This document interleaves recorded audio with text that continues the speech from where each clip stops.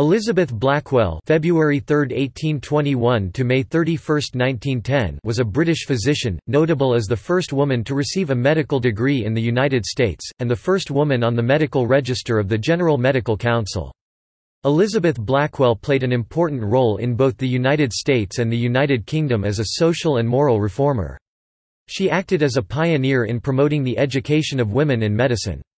Elizabeth Blackwell's contributions remain celebrated through an Elizabeth Blackwell Medal that is awarded to one woman every year who has added to the cause of promoting women in medicine. Furthermore, Hobart and William Smith College recently created a statue on their campus honoring Elizabeth Blackwell. Elizabeth Blackwell was initially uninterested in a career in medicine especially after her schoolteacher brought in a bull's eye to use as a teaching tool. Therefore, she became a schoolteacher in order to support her family. This occupation was seen as suitable for women during the 1800s, however, being a schoolteacher did not interest Blackwell. Blackwell's motivation to go into medicine came after her friend fell ill and suggested that if a female doctor had cared for her, she might not have suffered so much. Blackwell began to apply to medical schools, however, she endured a lot of prejudice due to her gender. She was rejected from all the medical schools she applied to except Geneva Medical College. In 1847 Blackwell became the first woman to attend medical school in the United States. Elizabeth Blackwell had her inaugural thesis on typhoid fever published in the Buffalo Medical Journal right after she graduated college in 1849. This article was the first medical article published by a female student from the United States. Her article portrayed a strong sense of empathy and sensitivity to human suffering as well as a strong desire for social and economic justice.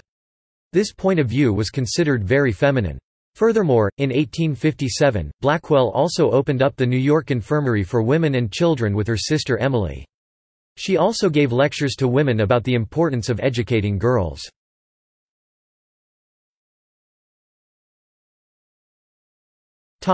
Early life Elizabeth was born on February 3, 1821, in Bristol, England to Samuel Blackwell, who was a sugar refiner, and his wife Hannah Lane Blackwell. She had two older siblings, Anna and Marion, and would eventually have six younger siblings, Samuel married Antoinette Brown, Henry married Lucy Stone, Emily third woman in the U.S. to get a medical degree, Sarah Ellen a writer, John and George. She also had four maiden aunts, Barbara, Anne, Lucy, and Mary, who also lived with them. In 1832, the family emigrated from Bristol, England to New York because Samuel Blackwell had lost their most profitable sugar refinery to a fire. In New York, her father became active in abolitionist work. Therefore, their dinnertime discussions often surrounded issues such as women's rights, slavery, and child labor. These liberal discussions reflected Hannah and Samuel's attitudes toward child rearing. For example, rather than beating the children for bad behavior, Barbara Blackwell recorded their trespases in a black book. If the offenses accumulated, the children would be exiled to the attic during dinner. Samuel Blackwell was similarly liberal in his attitude towards the education of his children. Samuel Blackwell was a Congregationalist and exerted a strong influence over the religious and academic education of his children. He believed that each child, including his girls, should be given the opportunity for unlimited development of their talents and gifts. This perspective was rare during that time, as most people believed that the women's place was in the home or as a schoolteacher. Blackwell had not only a governess, but private tutors to supplement her intellectual development. As a result, she was rather socially isolated from all but her family as she grew up. A few years after the family moved to New York, the family moved to Cincinnati, Ohio. When Blackwell was 17 her father passed away, leaving the family with very little money.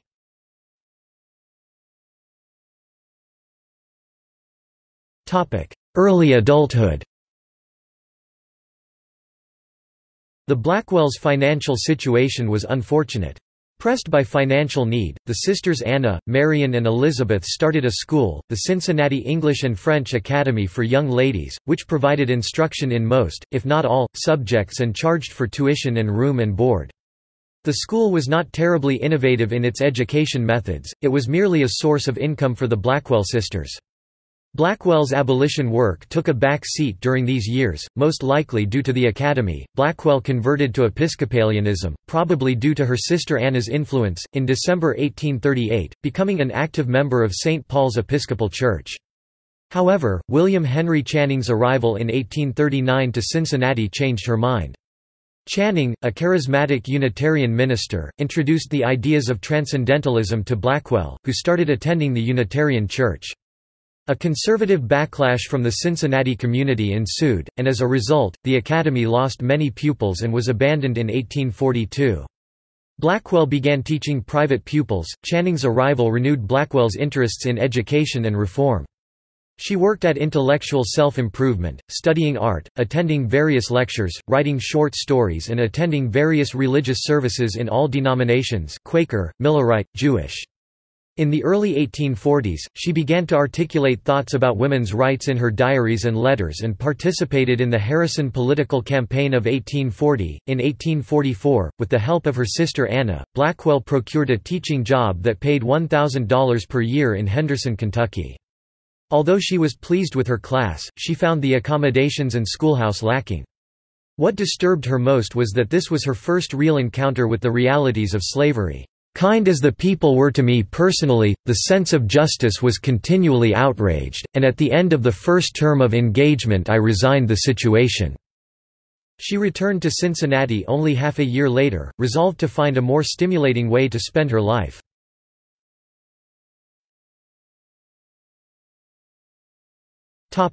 Education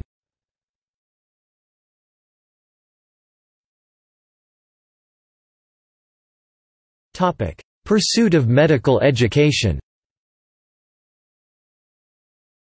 Once again, through her sister Anna, Blackwell procured a job, this time teaching music at an academy in Asheville, North Carolina, with the goal of saving up the $3,000 necessary for her medical school expenses. In Asheville, Blackwell lodged with the respected Reverend John Dickson, who happened to have been a physician before he became a clergyman. Dickson approved of Blackwell's career aspirations and allowed her to use the medical books in his library to study. During this time, Blackwell soothed her own doubts about her choice and her loneliness with deep religious contemplation. She also renewed her anti-slavery interests, starting a slave Sunday school that was ultimately unsuccessful. Dickson's school closed down soon after, and Blackwell moved to the residence of Reverend Dickson's brother, Samuel Henry Dickson, a prominent Charleston physician. She started teaching in 1846 at a boarding school in Charleston run by a Mrs. Dupre. With the help of Reverend Dickson's brother, Blackwell inquired into the possibility of medical study via letters, with no favorable responses. In 1847, Blackwell left Charleston for Philadelphia and New York, with the aim of personally investigating the opportunities for medical study. Blackwell's greatest wish was to be accepted into one of the Philadelphia medical schools. My mind is fully made up. I have not the slightest hesitation on the subject, the thorough study of medicine, I am quite resolved to go through with. The horrors and disgusts I have no doubt of vanquishing. I have overcome stronger distastes than any that now remain, and feel fully equal to the contest. As to the opinion of people, I don't care one straw personally, though I take so much pains, as a matter of policy, to propitiate it, and shall always strive to do so, for I see continually how the highest good is eclipsed by the violent or disagreeable forms which contain it. Upon reaching Philadelphia, Blackwell boarded with Dr. William Elder and studied anatomy privately with Dr. Jonathan M. Allen as she attempted to get her foot in the door at any medical school in Philadelphia. She was met with resistance almost everywhere. Most physicians recommended that she either go to Paris to study or that she take up a disguise as a man to study medicine. The main reasons offered for her rejection were that 1 she was a woman and therefore intellectually inferior, and 2 she might actually prove equal to the task, prove to be competition, and that she could not expect them to furnish her with a stick to break our heads with. Out of desperation, she applied to 12 country schools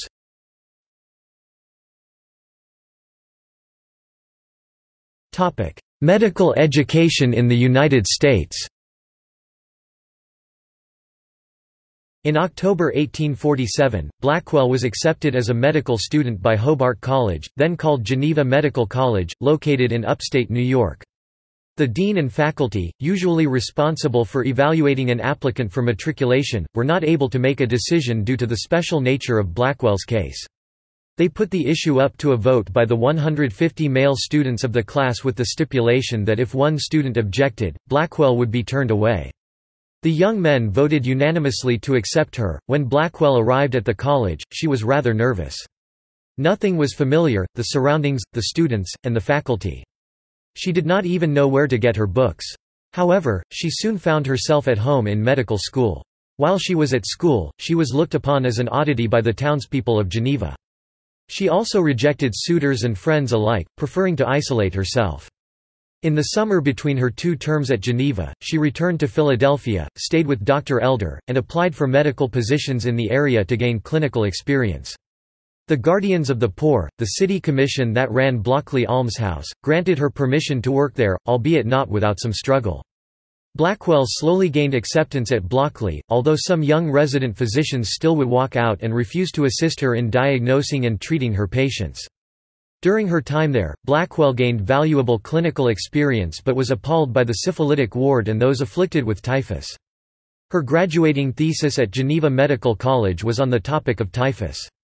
The conclusion of this thesis linked physical health with socio-moral stability, a link that foreshadows her later reform work. On January 23, 1849, Elizabeth Blackwell became the first woman to achieve a medical degree in the United States.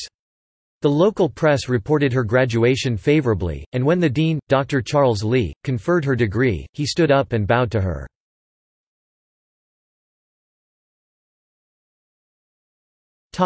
Medical education in Europe In April, 1849, Blackwell made the decision to continue her studies in Europe. She visited a few hospitals in Britain and then headed to Paris. Her experience there was similar to her experience in America, she was rejected by many hospitals because of her gender. In June, Blackwell enrolled at La Maternité, a lying-in hospital, under the condition that she would be treated as a student midwife, not a physician.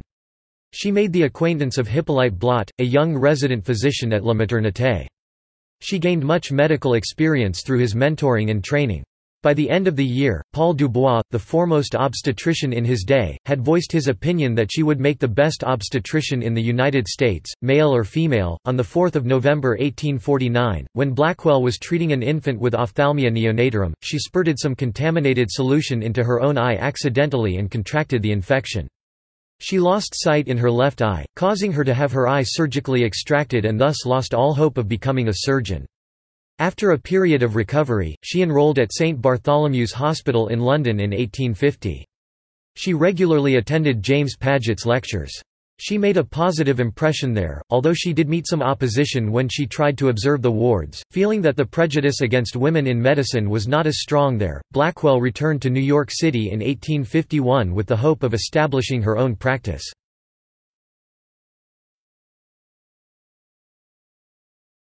Topic: Career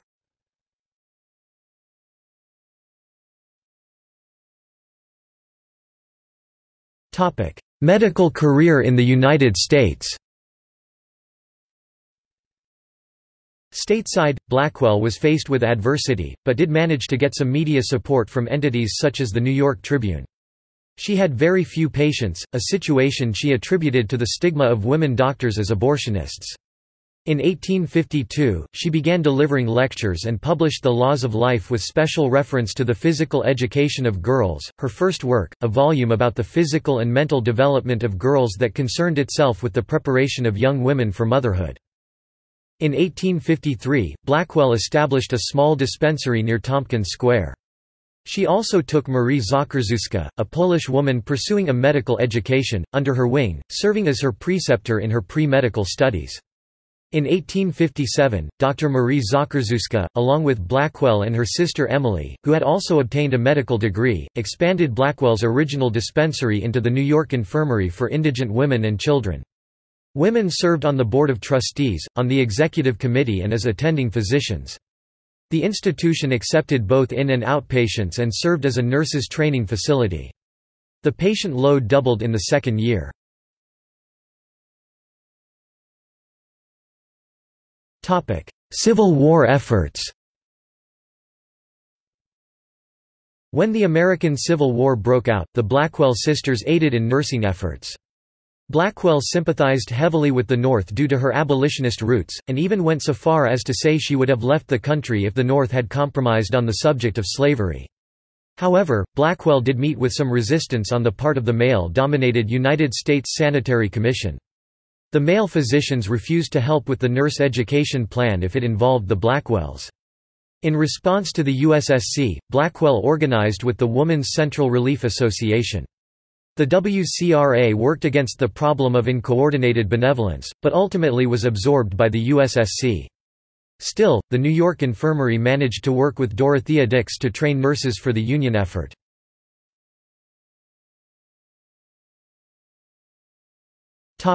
Medical career at home and abroad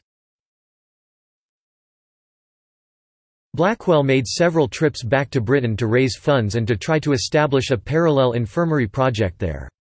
In 1858, under a clause in the Medical Act of 1858 that recognised doctors with foreign degrees practising in Britain before 1858, she was able to become the first woman to have her name entered on the General Medical Council's medical register the 1st of January 1859. She also became a mentor to Elizabeth Garrett Anderson during this time. By 1866, nearly 7,000 patients were being treated per year at the New York Infirmary, and Blackwell was needed back in the United States. The parallel project fell through, but in 1868, a medical college for women adjunct to the infirmary was established. It incorporated Blackwell's innovative ideas about medical education, a four-year training period with much more extensive clinical training than previously required. At this point, a rift occurred between Emily and Elizabeth Blackwell. Both were extremely headstrong, and a power struggle over the management of the infirmary and medical college ensued. Elizabeth, feeling slightly alienated by the United States women's medical movement, left for Britain to try to establish medical education for women there. In July 1869, she sailed for Britain. In 1874, Blackwell established a women's medical school in London with Sophia Jex Blake, who had been a student at the New York Infirmary years earlier. Blackwell had doubts about Jex Blake and thought that she was dangerous, belligerent, and tactless. Nonetheless, Blackwell became deeply involved with the school, and it opened in 1874 as the London School of Medicine for Women, with the primary goal of preparing women for the licensing exam of Apothecaries Hall. Blackwell vehemently opposed the use of vivisections in the laboratory of the school. After the establishment of the school, Blackwell lost much of her authority to Jex Blake and was elected as a lecturer in midwifery.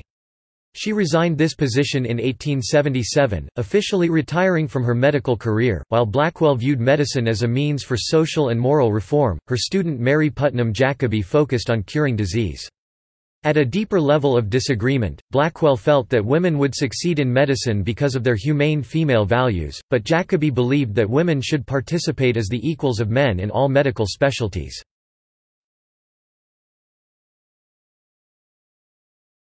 Time in Europe, social and moral reform After leaving for Britain in 1869, Blackwell diversified her interests, and was active both in social reform and authorship. She co-founded the National Health Society in 1871.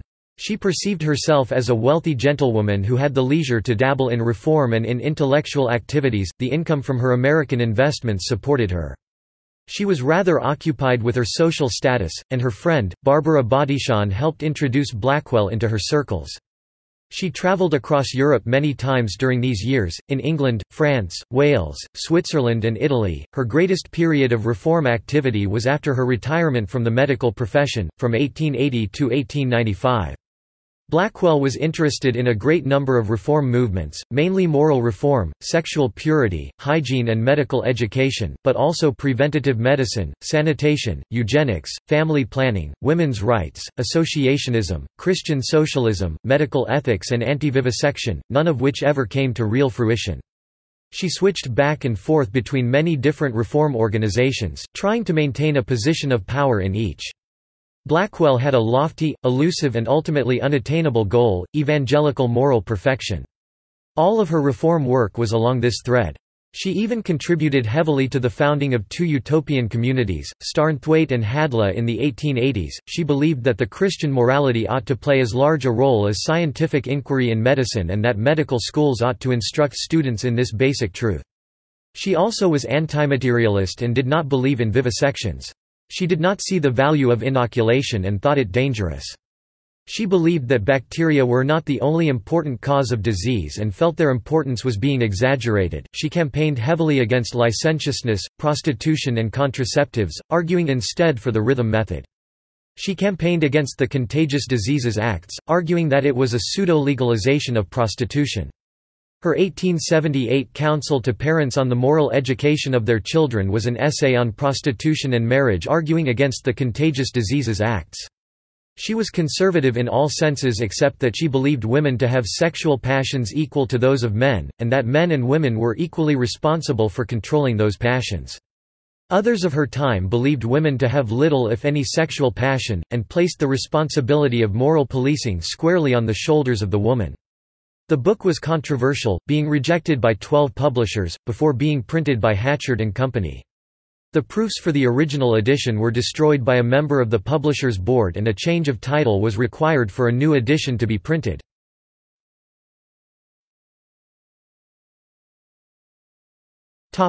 Personal life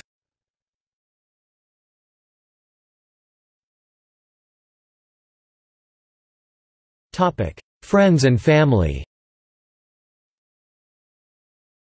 Blackwell was well connected, both in the United States and in the United Kingdom. She exchanged letters with Lady Byron about women's rights issues, and became very close friends with Florence Nightingale, with whom she discussed opening and running a hospital together. She remained lifelong friends with Barbara Bodichon, and met Elizabeth Cady Stanton in 1883. She was close with her family, and visited her brothers and sisters whenever she could during her travels. However, Blackwell had a very strong personality, and was often quite acerbic in her critique of others, especially of other women. Blackwell had a falling out with Florence Nightingale after Nightingale returned from the Crimean War. Nightingale wanted Blackwell to turn her focus to training nurses, and could not see the legitimacy of training female physicians. After that, Blackwell's comments upon Florence Nightingale's publications were often highly critical. She was also highly critical of many of the women's reform and hospital organizations in which she played no role, calling some of them quack auspices. Blackwell also did not get along well with her more stubborn sisters Anna and Emily, or with the women physicians she mentored after they established themselves Marie Zakrzewska, Sophia Jex Blake and Elizabeth Garrett Anderson.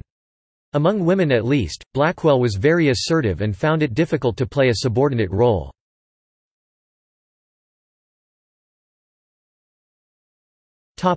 Kitty Barry In 1856, when Blackwell was establishing the New York Infirmary, she adopted Catherine Kitty Barry (1848–1936), an Irish orphan from the House of Refuge on Randall's Island.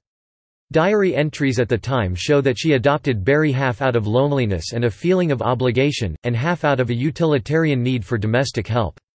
Barry was brought up as a half-servant, half-daughter. Blackwell did provide for Barry's education.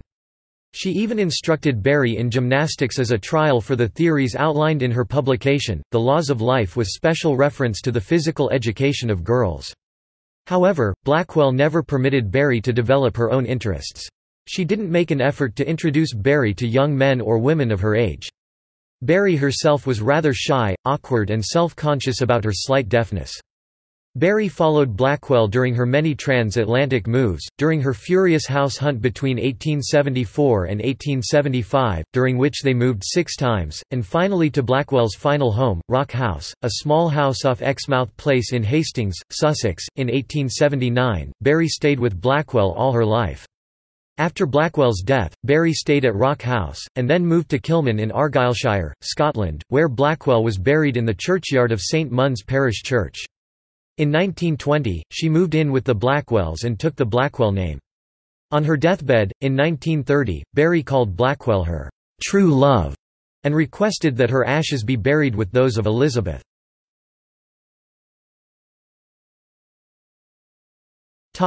Private life None of the five Blackwell sisters ever married. Elizabeth thought courtship games were foolish early in her life, and prized her independence.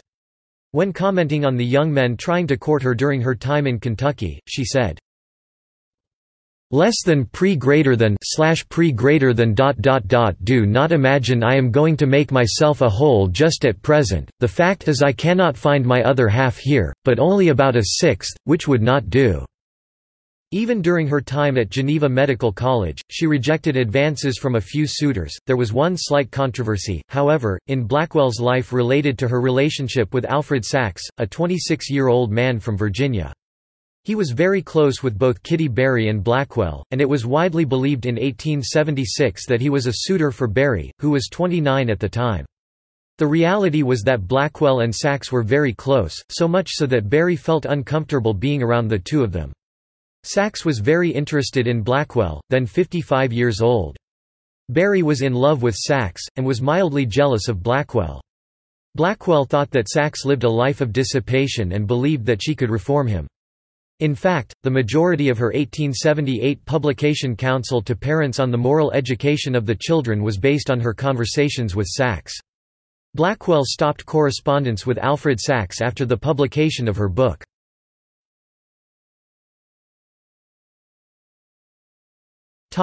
Last years and death Blackwell, in her later years, was still relatively active. In 1895, she published her autobiography, Pioneer Work and Opening the Medical Profession to Women. It was not very successful, selling fewer than 500 copies. After this publication, Blackwell slowly relinquished her public reform presence, and spent more time traveling. She visited the United States in 1906 and took her first and last car ride. Blackwell's old age was beginning to limit her activities. In 1907, while holidaying in Kilmun, Scotland, Blackwell fell down a flight of stairs, and was left almost completely mentally and physically disabled. On 31 May 1910, she died at her home in Hastings, Sussex, after suffering a stroke that paralysed half her body. Her ashes were buried in the graveyard of St Mun's Parish Church, Kilmun, and obituaries honouring her appeared in publications such as The Lancet and the British Medical Journal. The British artist Edith Holden, whose Unitarian family were Blackwell's relatives, was given the middle name, Blackwell, in her honour.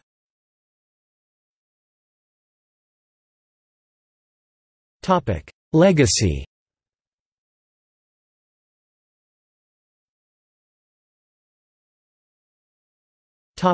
Influence After Elizabeth Blackwell graduated from university in 1849, her thesis on typhoid fever was published in the Buffalo Medical Journal. In 1857, Blackwell opened up the New York Infirmary for Women with her younger sister Emily. At the same time, she also gave lectures to women in the United States and England about the importance of educating women and the profession of medicine for women. In the audience at one of her lectures in England, was a woman named Elizabeth Garrett Anderson who later became the first woman doctor in England in 1865. Furthermore, Blackwell played a large role during the Civil War in organizing the nurses. In 1874, Blackwell worked together with Florence Nightingale, Sophia Jex Blake, Elizabeth Garrett Anderson, Emily Blackwell, and Thomas Henry Huxley in order to create the first medical school for women in England called, London School of Medicine for Women. Blackwell acted as the chair of hygiene. Blackwell settled in England in the 1870s and continued with working on expanding the profession of medicine for women. She influenced as much as 476 women to become registered medical women in England alone. Up until her death, Blackwell worked in an active practice in Hastings, England. She still did lectures at the School of Medicine for Women. Throughout her lifetime, she authored, The Laws of Life in Relation to the Physical Education of Girls, The Human Element in Sex, The Religion of Health, and The Moral Education of the Young in Relation.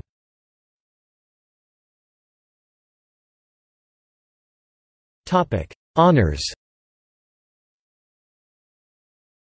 Two institutions honor Elizabeth Blackwell as an alumna, Hobart and William Smith Colleges, the current name of Geneva College, the founding institution of Geneva Medical College State University of New York SUNY at Syracuse, which acquired Geneva Medical College in 1950 and renamed it, "'State University of New York Upstate Medical University' In 1999, since 1949, the American Medical Women's Association has awarded the Elizabeth Blackwell Medal annually to a woman physician. Hobart and William Smith Colleges awards an annual Elizabeth Blackwell Award to women who have demonstrated outstanding service to humankind. In 1973, Elizabeth Blackwell was inducted into the National Women's Hall of Fame. The artwork The Dinner Party features a place setting for Elizabeth Blackwell. In 2013, the University of Bristol launched the Elizabeth Blackwell Institute for Health Research. On February 3, 2018, Google honored her as a doodle in recognition of her 197th birth anniversary. In May 2018, a commemorative plaque was unveiled at the former location of the New York Infirmary for Indigent Women and Children, which Elizabeth Blackwell and her sister Emily Blackwell founded. Jill Platner, a jewelry designer, designed a Blackwell collection of jewelry inspired by Elizabeth Blackwell.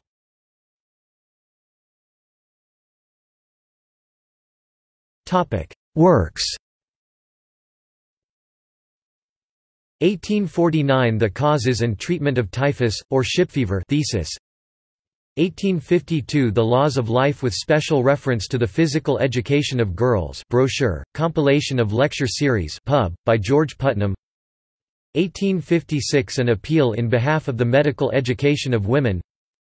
1860 Medicine as a Profession for Women lecture published by the trustees of the New York Infirmary for Women 1864 Address on the Medical Education of Women.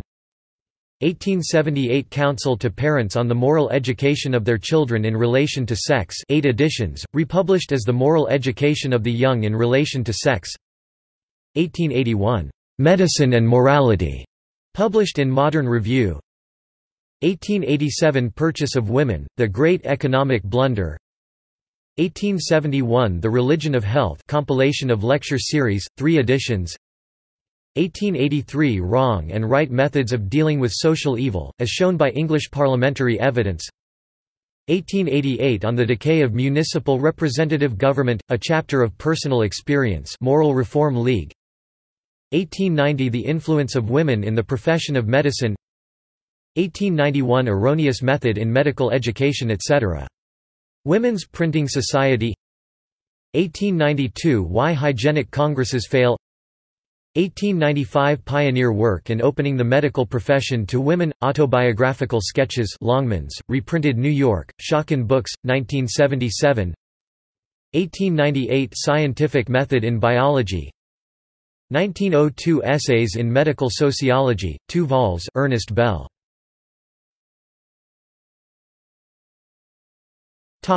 See also. Elizabeth Garrett Anderson, first woman to gain a medical qualification in Britain. James Barry, possibly the first female-bodied doctor assigned female at birth but living as a man. List of first female physicians by country